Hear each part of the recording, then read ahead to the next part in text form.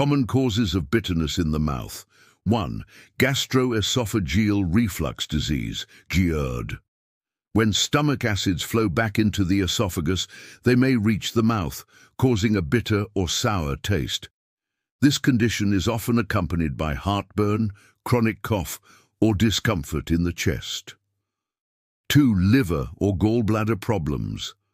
Liver disease or blockage in the bile ducts can affect the taste in the mouth. When bile flow is disrupted, toxins may accumulate in the body, leading to a bitter taste. 3. Medications. Several medications are known to alter taste, including antibiotics, high blood pressure medications, iron or zinc supplements, antidepressants or allergy medications. 4. Oral and dental issues. Gum infections, tooth decay or dry mouth, common among older adults or people with diabetes, can cause an unusual taste. Poor oral hygiene is also a contributing factor. 5. Pregnancy and hormonal changes.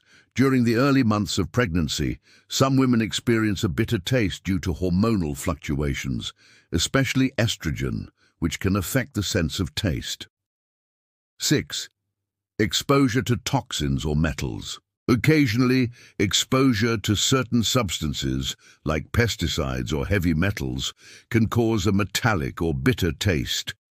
This is more common in industrial environments or after consuming contaminated food. When should you see a doctor? You should consult a doctor if the bitter taste persists for more than a week, is accompanied by other symptoms like nausea, abdominal pain, or yellowing of the skin or eyes. Starts after beginning a new medication, affects your appetite or daily life. Tips to reduce bitter taste. Maintain good oral hygiene. Avoid spicy and fatty foods. Stay well hydrated. Use alcohol-free mouthwash. Seek medical advice if symptoms continue.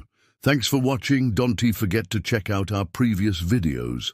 And stay tuned for what ES coming next. There's so much more to explore on self-development. See you in the next one.